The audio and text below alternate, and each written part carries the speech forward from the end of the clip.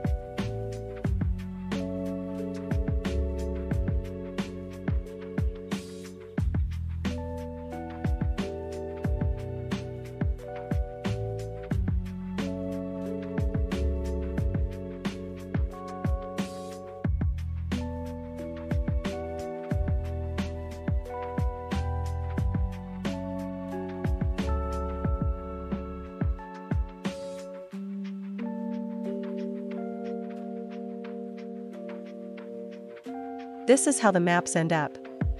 I'll even walk into the new tavern and talk to the owner.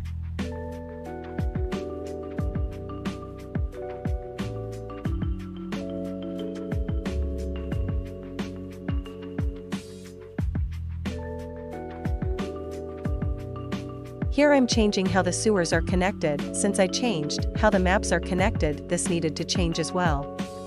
I might change how the connections to each maps are. Maybe make the sewer and undercity with pit stops where you can leave for certain parts in the city and smaller rooms where you can find certain NPCs. Enjoy the workflow.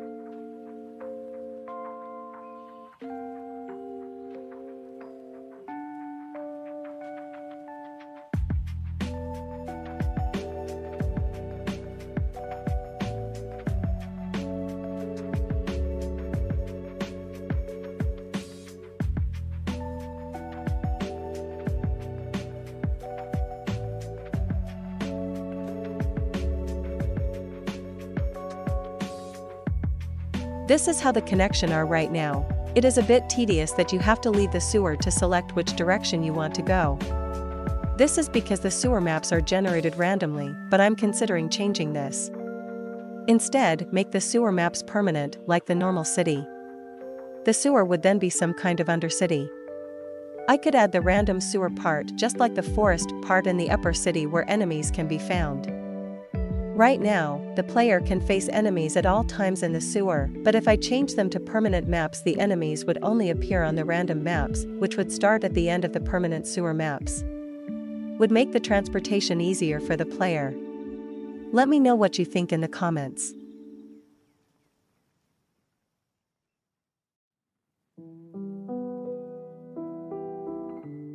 Thank you for watching. Leave a like and subscribe for more devlog videos. Cheers yours truly White Raven.